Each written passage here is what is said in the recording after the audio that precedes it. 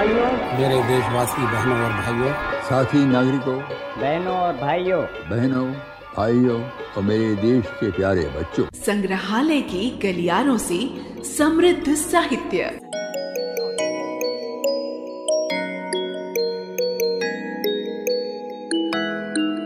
कौन तुम रूपसी कौन?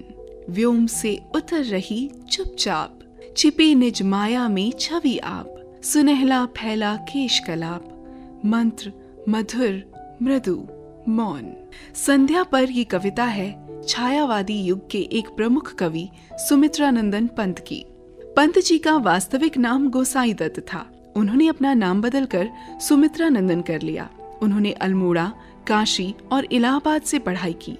प्राकृतिक सौंदर्य से पूर्ण उनकी एक कविता। पूर्व और पश्चिम सागर तक भूखे मानदंड सा विस्तृत, उत्तर दिश में दिव्य हिमालयी गिरियों का अधिपति है शोभित। रत्नों के आकर हिमगिर की हिम से हुई न शोभा कुंठित। किरणों में कलंक सा छिपता, गुण समूह में अवगुण किंचित। गैरिक पीत धातु श्रृंगों से वह रंगता घन खंडों को जब अप्सरियाँ मंडन करती हैं असमय संध्या के भ्रम से तब गज शुंडों पर लाल बिंदु से अंकित जिन पर लगते अक्षर विद्याधर सुंदरियाँ लिखती प्रेम पत्रिका भोज पत्र पर गुहा मुखों से उठकर मारुत करता वेणु रंध्र सब सस्वर साथ दे रहा। जो गीतों का गाते जिसे तार स्वर किन्नर, जब मस्तक खुजलाते हैं गज, देवदारु से संघर्षण रत उनसे बहकर क्षीर सुरभिमयी कर देता शिखरों को सुरभित शिनीभूत हिम पथ पर जिनकी एड़ी अंगुलियाँ उद्वेजित,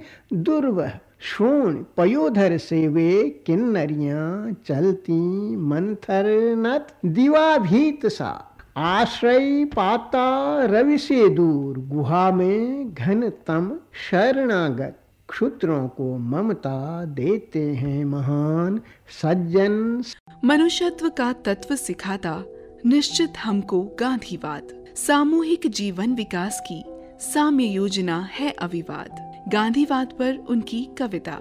गांधी जी द्वारा अंग्रेज़ी विद्यालय और महाविद्यालय के बहिष्कार के आह्वान पर पंत जी ने महाविद्यालय छोड़ दिया। 1919 में सत्याग्रह से प्रभावित होकर वो स्वतंत्रता आंदोलन से जुड़ गए। हिंदी, संस्कृत, अंग्रेज़ी और बांग्ला को उन्होंने स्वयं पढ़ा। वैभवशाली सांस्कृतिक विरासत दर्शाती उनकी कविता। आदिकाल से ऋषि मुनियों की साधन भूमि रहा जो भारत। भक्ति ज्ञान, श्रद्धा, तप संयम, भूखी मर्यादाएँ प्राक्तन, त्याग, धैर्य, निष्काम, कर्म ही लोक प्रेम, सेवा के साधन, आत्मतोषमय सात्विक जीवन। परंपरा संतों की पावन मध्य युगों से रहा उपेक्षित भूजीवन, मूल्यों का वितरण। लोक पुरुष पहचान गए थे। प्रथम दृष्टि में भारत का मुख बढ़ते भौतिक युग प्रवाह में मिले न जनहित। श्रेय शांति, सुख रक्त नेत्र पश्चिम में उनको दिखा भव्य प्रासाद विभव का, पशुबल के भुजदंड पर खड़ा। जो निवास था युग दानव का। प्रथम युद्ध के खर तांडव से जन भुवंतर था मर्माहत, भव सेवा हित लिया धीर ने, सत्य अहिंसा का पवित्र व्रत, पशुबल से हो मनुज पराजित, सह न सका युग मानव का मन।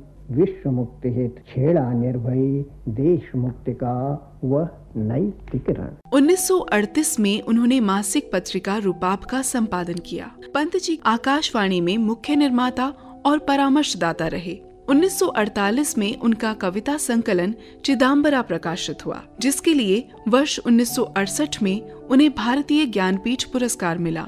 हिमालय को महिमा मंडित करती एक कविता।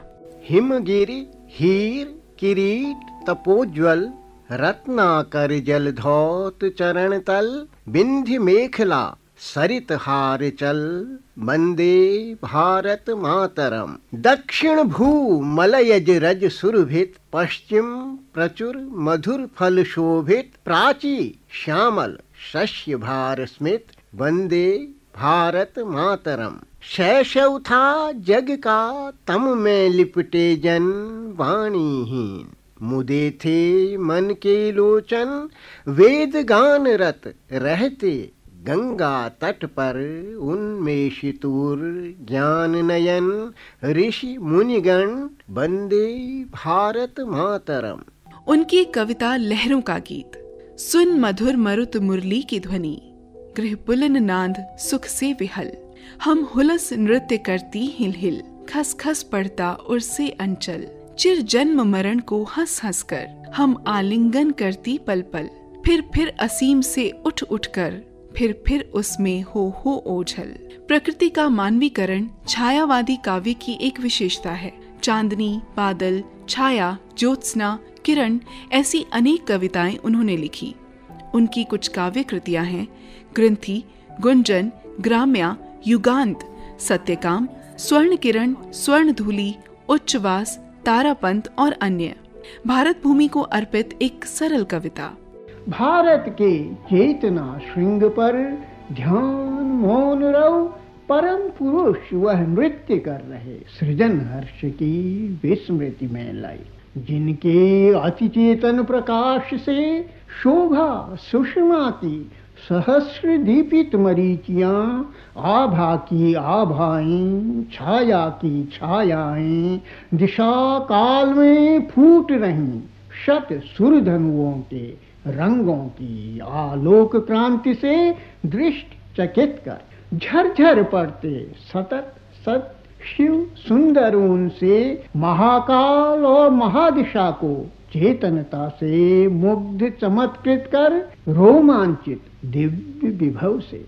आ, धरा के भूतों के इस तमस क्षेत्र में जीवन तृष्णा, प्राण क्षुधा और मनोदाह से क्षुब्ध, दग्ध जर जर जनगण चीतकार कर रहे घृणा, द्वेष, स्पर्धा से पीड़ित वन पशुओं से। बिखर गया मानव का मन अणुवीक्षण पथ से बहिर्जगत में स्थूल भूत विज्ञान से भ्रमित अंतर्दृष्टि विहीन मनुज निज अंतर जग की वैभव से अनिभिज्ञ हृदय से शून्य रिक्त है। आज आत्मघाती वह अपने ही हाथों से महाजाति का महामरण निर्माण कर रहा, भौतिक, रासायनिक चमत्कारों से अगणित तर्क नियंत्रित यांत्रिकता के पद प्रहार से ध्वस्त हो रहे अंतर मन के सूक्ष्म संगठन, सत्यों के, आदर्शों के, भावों, स्वप्नों के, श्रद्धा, विश्वासों के, संयम, तप, साधन के मनुष्यत्व निर्भर है जिन ज्योतिष स्तंभों पर। ऐसे मरणोन्मुख जग को, कहता मेरा मन, और कौन दे सकता नव जीवन? आश्वासन, शांति, तृप्त, निज अंतर जीवन के प्रवाह से भारत के अतिरिक्त आज, जो शाश्वत अक्षर, अंतर ऐश्वर्यों का ईश्वर है, वसुधा पर। कहता मेरा मन, भारत ही के मंगल में भूमंगल जन मंगल देवों का मंगल है। देव, आप आशीर्वाद दें जन भारत को।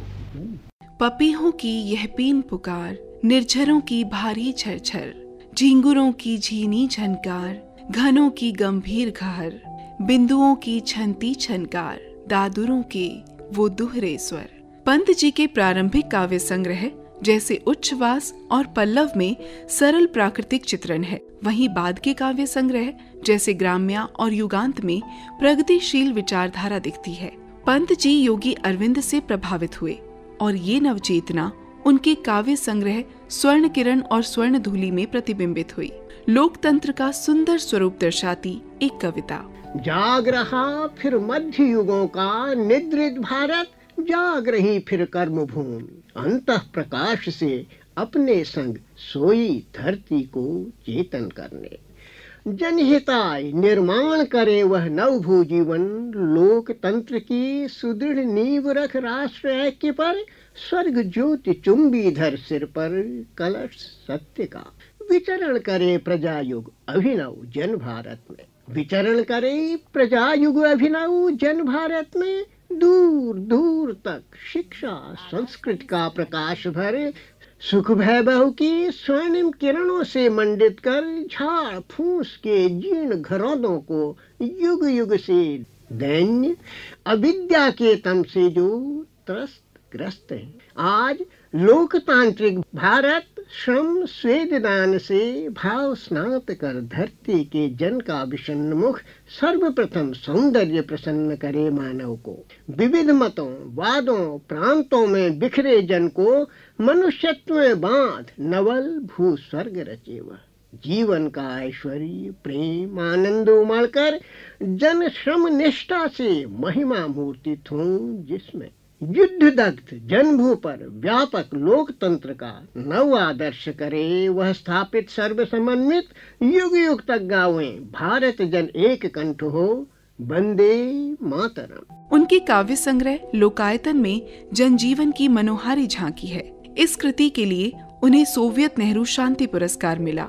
कला और बूढ़ा चाँद के लिए 1960 में उन्हें साहित्य अकादमी पुरस्कार मिला और 1961 में उन्हें पद्म भूषण सम्मान मिला। पंत जी का शाश्वत संदेश था, गा कोकिला संदेश सनातन। मानव का परिचय मानवपन आत्म चेतना जगाती एक रचना। लोग सोचते, वृक्ष ऊर्ध करते आरोहण, मुग्ध देखते नभ का आनंद, सूर्यमुखी पा दृष्टि न भू जीवन के प्रति रखते संवेदन। वे न जानते उनके कितने गहरे मूल धरा जीवन में बिना गहन पैठे कोई ऊपर उठ सकता। जिसकी जड़ ही नहीं, कहीं वह वृक्ष पनपता सच तो यह है ऊर्ध दृष्टि ही गहरे घुसकर सहज उतर सकती जनमन में। मैं जीवन में सोचता रहा, खोजता रहा खोजता रहा, कभी ऊर्धमुख फिर अंतर्मुख, कभी बहिर्जग में भी बहा। अब लगता मैं अपने ही को खोजता रहा व्यग्र निरंतर। मेरा ही बहुमुख प्रसार था बाहर, भीतर, ऊपर।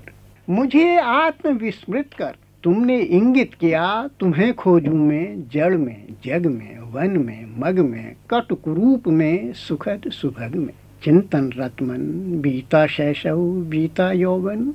रुका नहीं मैं कहीं एक क्षण, बाहर, भीतर जिया, किया अविरत अन्वेषण। सतत बोध पथ में हो विकसित, होते रहे हृदय में तुम संचित, संयोजित। आया ऐसा भी तब शुभ क्षण, बिला गया सब उर का चिंतन। छूट गई विस्मृति सहसा, हो उठा आत्मचेतन मन। मैं ही फैला था जग में। मैं ही सिमट गया फिर अंत केंद्रित स्थित बन। अब अपनापन ही अपनापन। मैं, तुम या जग बिलग नहीं थे हुए एक क्षण, सदा एक ही रहे प्राणपण। ऊर्ध गहन व्यापक या प्रज्ञा का त्रिकोण भर केंद्र बिंदु तुम व्यक्त हो रहे, बाहर भीतर, नीचे ऊपर, स्वयं निरंतर। समृद्ध साहित्य खंड में अभी आपने सुना पद्म भूषण कवि सुमित्रा नंदन पंत को।